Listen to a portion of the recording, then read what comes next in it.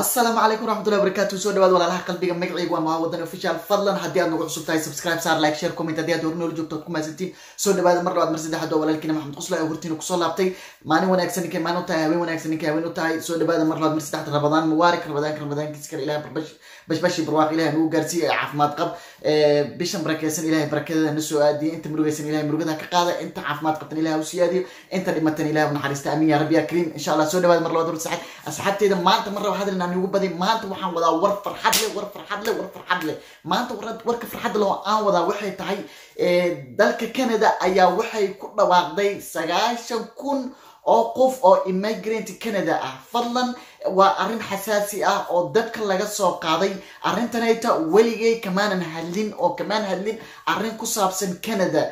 Aniga waa igu ogeedeen ama waad nagu ogeedeen haddii aan nahay team wadani official arrimahan kale ee bulshada baraha bulshada ku saabsan. Balse maanta waxaan rabnaa inaan gudaha u galno immigration canadian immigration system inaan gudaha u galno ama canada aan falaqeyno gudaheeda.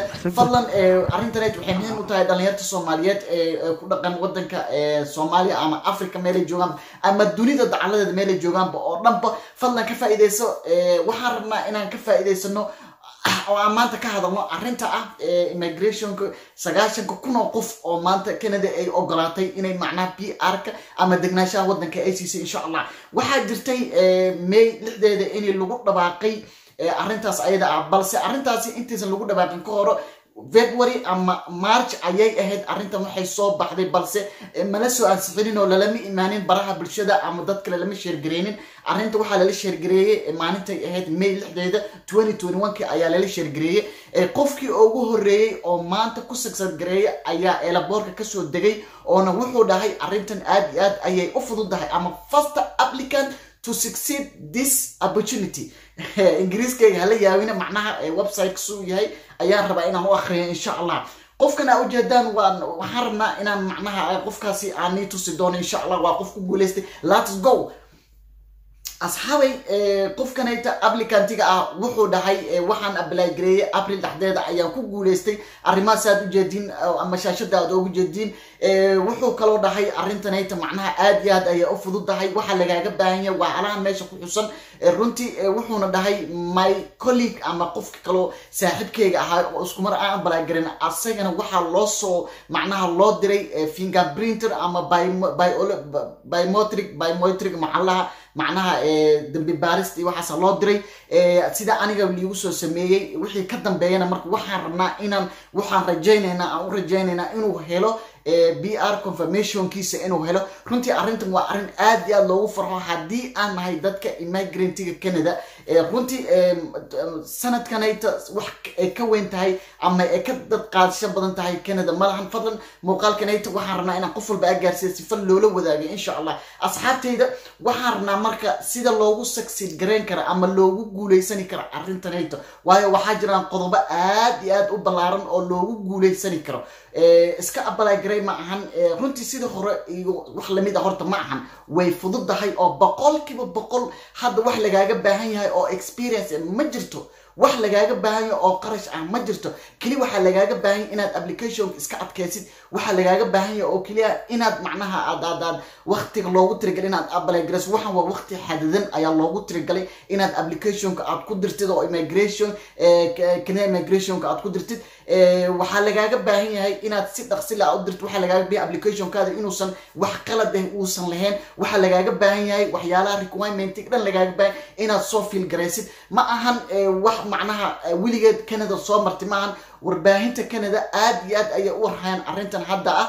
Waayo waxa sanadka markuu justin trudeau uu ku guuleystay prime ministernimada waxyaalaha waxay aad u ballan qaaday midda kale new immigration ministerka asaga naftiisa waa waxyaalaha u ballan qaaday ayay ka mid tahay.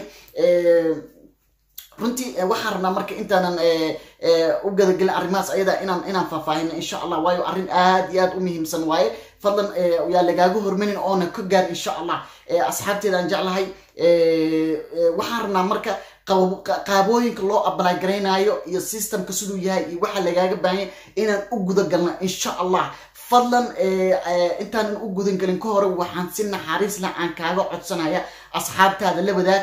Subscribe saar like dheh share dheh intaba markaad dhahdid waxaad arki waxaa videogan daawani karaa kumanaan aad iyo aad u badan oo danaynayo inay canada ku soo wareegaan dunida meel walba ay ka joogaan.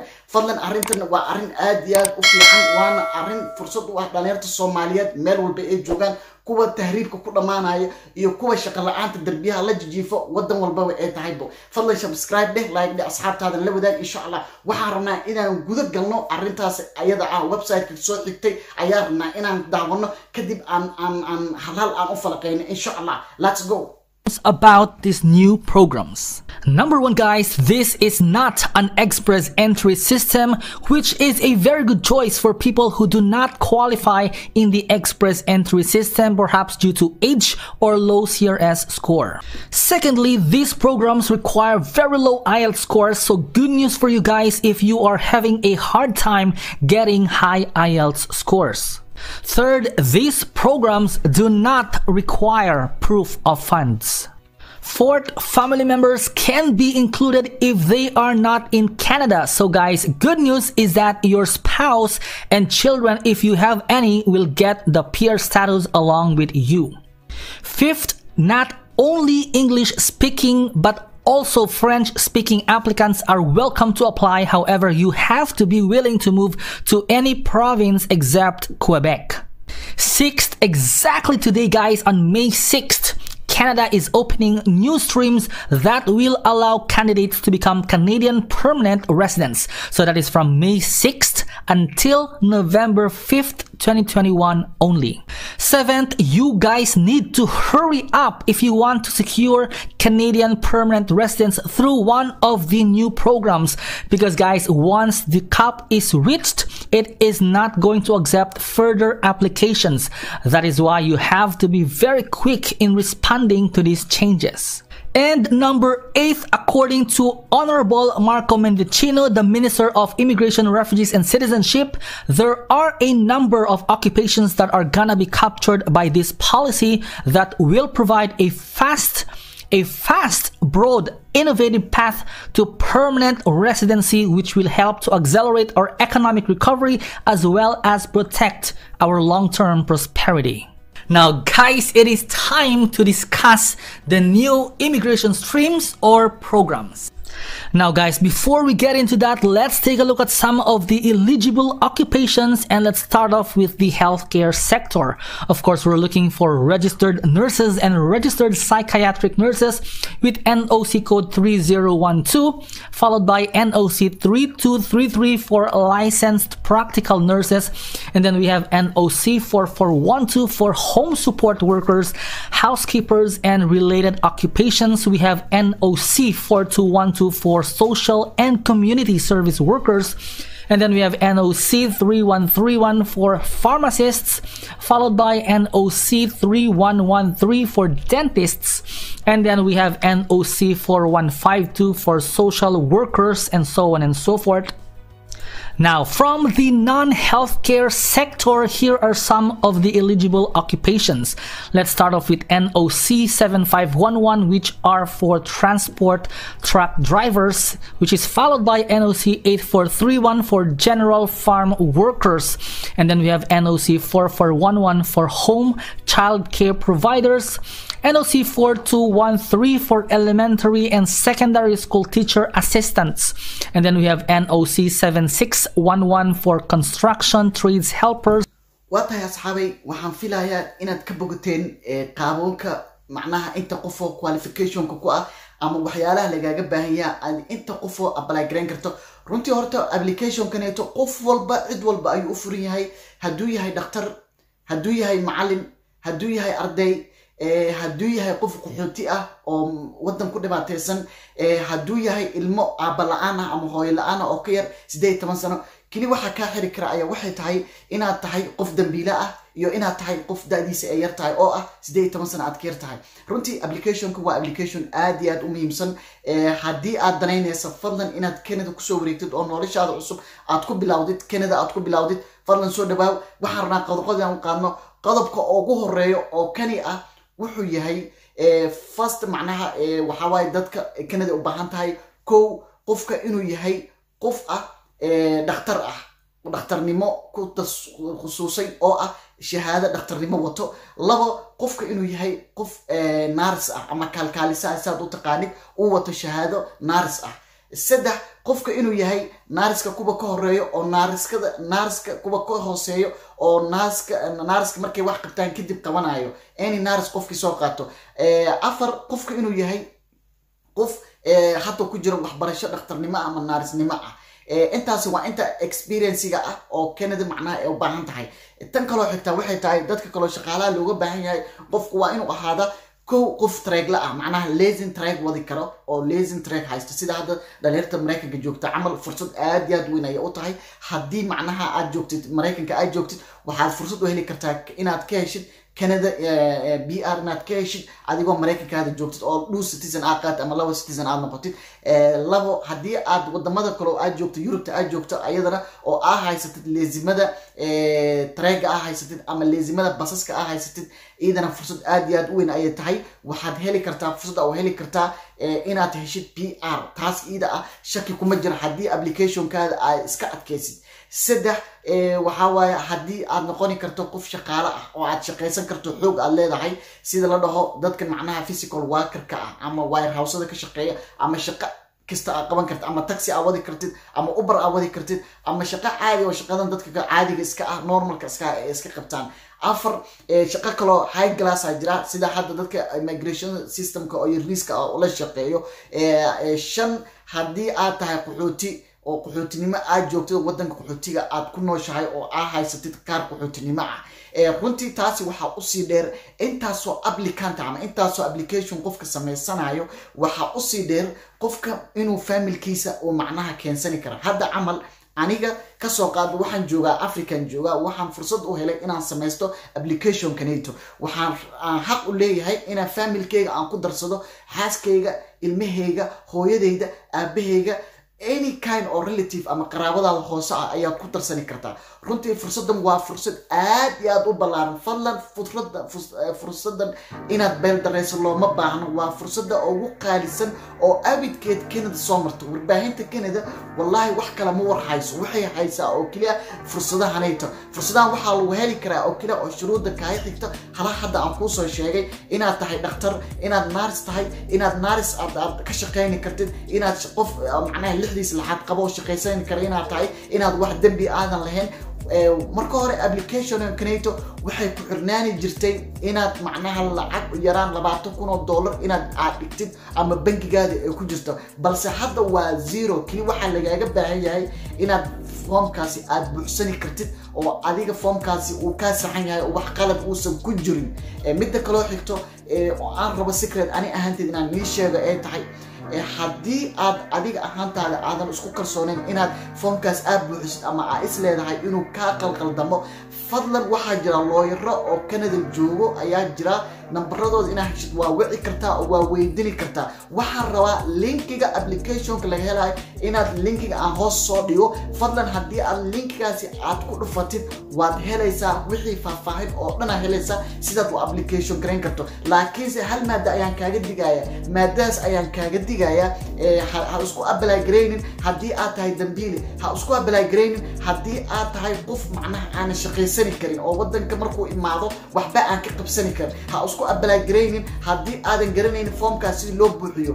Taas iyada waxay kugu fududahay haddii aad aqaanin in foomkaasi aad buuxisid. Fadlan looyar la xiriir lacag yar ayuu kaa qaadanayaa foomkana wuu kuu hagaajinayaa muddo laba bilood ka yarna fiisahaada waad helaysaa. Taasi waa balaa shaki waxaana oo shaki bixi karta warbaahinta canada. Haddii aad booqato waa arki karta linkiga hoosena waxaan rabaa inaan soo dhigo ama kor aan soo saaro. Linkiga laga helayo immigrationka all documentayaasha i m ka waxyaalaha dhan oo hadda aan soo sharaxna insha allah fadlan ka faa'iidaysa muuqaalkan. Waa muuqaal aad iyo aad u muhiimsan dhalinyarta soomaaliyeed ayaan la hadlaya. Maanta wallahi lama hadlayo waxyaalaha qaar lama hadlayo. Arrintan waa arrin sidaas ah fadlan ka faa'iidayso aad iyo aad ayay u wanaagsan tahay. Waad ujeedaan foomka dhan oo inta aan soo taxnay aad iyo aad ayay muhiim u tahay fadlan ka daabo oo macnaha haddii aad rabto xitaa dibeedka uu canada minister immigrationka uu sameeyey ayaa ka daawani kartaa haddii aad haysid websiteka dowladda canada haddii aad haysid wixii faahfaahina insha allah. Fadlan arrintan aad iyo aad ayay muhiim u tahay. Asxaabtaada la wadaag sheer garay sife ay u noqoto dadka soomaaliyeed wixii horumar rabo oo inuu imaado wadankan rabo inuu shaqaysto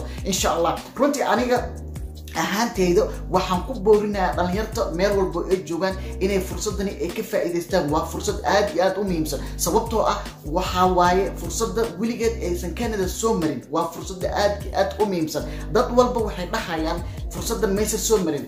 Bejka ugu horreeyay ama thumbline-keena sidii macnaha aan u soo bilaabnay waxay ahayd wiilka aad arkaysaan.